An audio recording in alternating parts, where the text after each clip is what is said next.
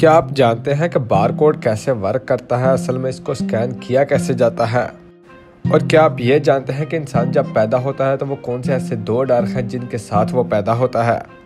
और अगर आप नहीं जानते तो इस वीडियो में आप जान जाएँगे, ज़्यादा वक्त नहीं लूँगा आपका फैक्टोपीडिया की नई वीडियो में खुश आमदेद। चलिए फैक्ट का सफ़र शुरू करते हैं। पहला फैक्ट, आजकल तो कैचअप खाने पीने की चीज़ों के साथ इस्तेमाल किया जाता है, लेकिन 1830 में कैचअप को दवाई के तौर पर इस्तेमाल किया जाता था और इसको दवाई के नज़रिए से ही बनाया गया था।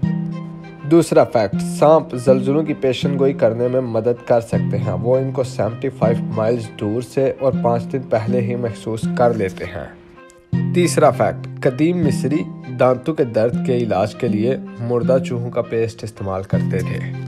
चौथा फैक्ट क्रूज शिप जो कि देखने में काफ़ी बड़ा है और इसमें हर किस्म की फैसिलिटीज़ होती हैं। लेकिन आपको मैं ये भी बता दूँ कि क्रूज शिप्स के अपने मुर्दा खाने भी होते हैं।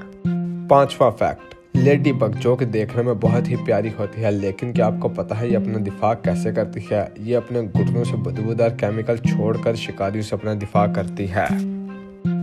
छठा फैक्ट बार कोड या क्यू आर कोड को असल में स्कैन किया कैसे जाता है? इनमें जो वाइट स्पेस है, उसको स्कैन किया जाता है, ना कि इनमें जो ब्लैक डब्बे हैं या लाइनें हैं, उनको स्कैन किया जाता है।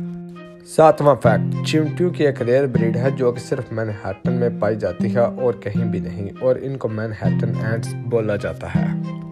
आठवां फैक्ट समुद्री ऑटर सोते वक्त हाथ पकड़कर सोते हैं ताकि वो एक दूसरे से अलग ना हो जाए। नौवा फैक्ट, प्रेसिडेंट थियोडोर रोजवेल्ट के पास काफ़ी सारे पालतू जानवर थे, लेकिन उनके पास एक बिल नाम का पालतू हैना भी था।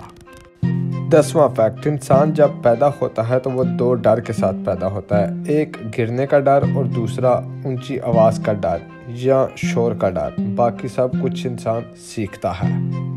यहाँ पर वीडियो ख़त्म करता हूँ, अगर वीडियो अच्छी लगी तो लाइक, शेयर और चैनल को सब्सक्राइब ज़रूर कर देना। मिलता हूँ अगली वीडियो में, तब तक के लिए अल्लाह हाफिज़।